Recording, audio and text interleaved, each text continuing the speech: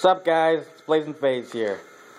Just got back from getting my other game today, because Assassin's Creed 3 came out today, but they called me back and they're like, Yo, Marcos, we got your Ragnarok Odyssey game in, so come back and get it. So I went back and got it, and here it is. It's a pretty cool game by Xseed, as you guys can see. And I got the special Mercenary Edition. It's a pretty cool game. Xseed makes games like uh, Legend of Heroes, those kind of games. And I've never disliked one of the Game, so I thought, why not get this one too? And as you can see, there's a bunch of cool stuff all around. Let me quickly read what's inside. Not not much inside but it's a Vita game, that's why. Inside, it says, this limited edition, Mercenary Edition, contains Game Plus exclusive 96 page art book, strategy guide, soundtrack CD, and 10 random insertion monster cards.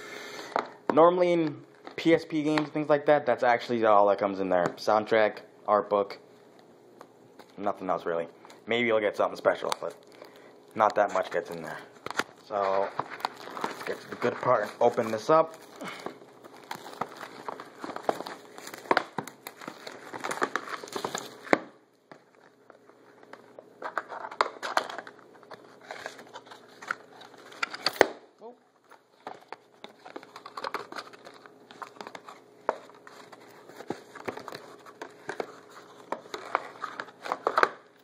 First thing I pull out is the original soundtrack.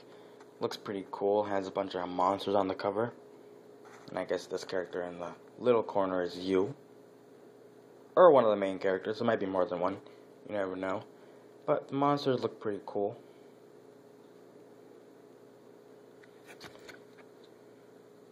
And look, there's another main character on the back.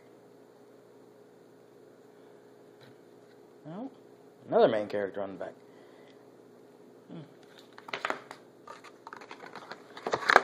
Next up, looks like we have the art book. Looks pretty nice. Mercenary Guide, Guild of Midgard. Quickly, all this might actually be the strategy guide slash art book. Some things do that. They say it's a strategy guide, art book, when they're probably one and the same. So let me flip through it real quick for you guys. Strategy guide part.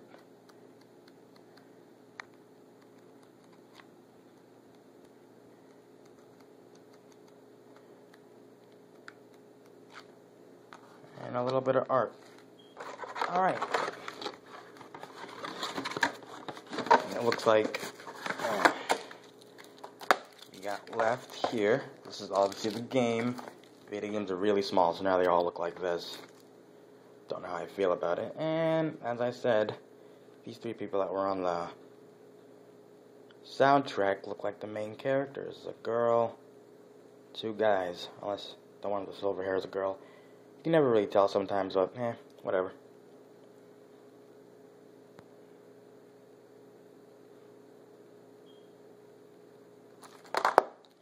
And these look like the cards. Seeing how they're nothing special, I think I might just open them for you guys.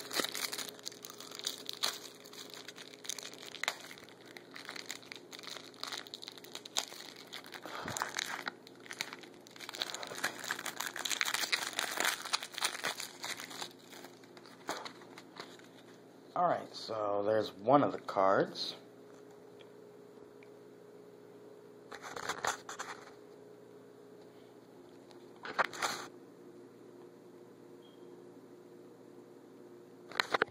Anything on the back? Hey, look.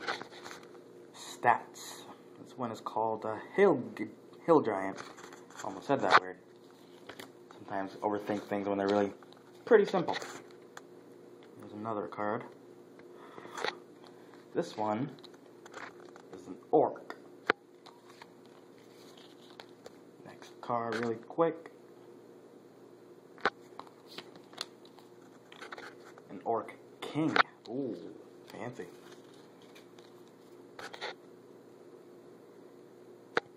These are probably just all random monsters in the game. Horo Horo. This one looks pretty cool.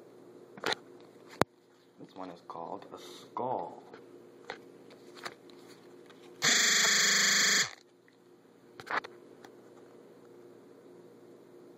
Huh.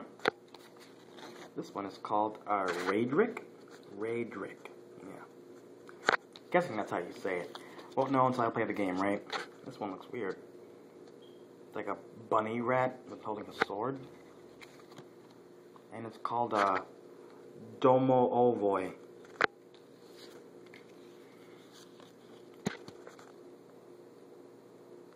Creepy.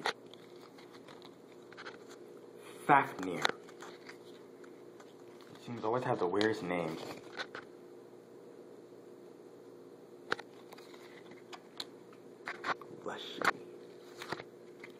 And the last card looks like some ice thing. This one looks like it'd be a boss in the game. Frost Giant. Well, there you guys have it. Pretty simple. For PS Vita game costs 50 bucks. It's kind of pricey for a Vita game. Maybe not. Depends on how you look at it. But I'm guessing it's going to be a good game. I won't know until I try it, right? But either way, I do recommend it because no one has a better opinion than yourself. So, if you guys want to check it out, I guarantee you'll probably like it. And as always, there'll be more videos. Comment, subscribe, and all that good stuff. Faze out.